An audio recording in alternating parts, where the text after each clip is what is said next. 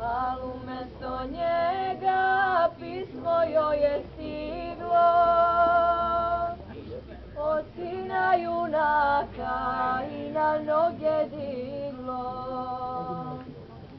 S ovog boja majko povratka mi nema, ko košare čuva, zna da zlo se sprema. Vrati majko živce, vrati kući neću,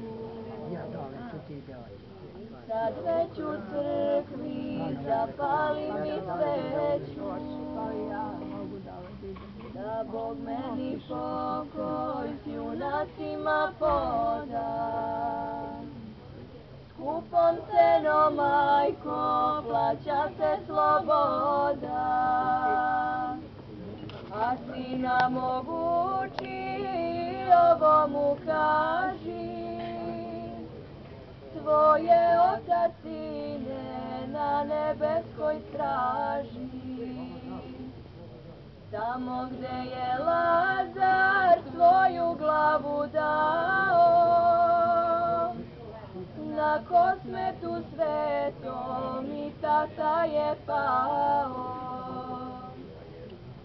Je onda sine kraj Miloša stao. A Hristos mu odmah carstvo večno dao. Ko ne pamti podvig s košara junaka,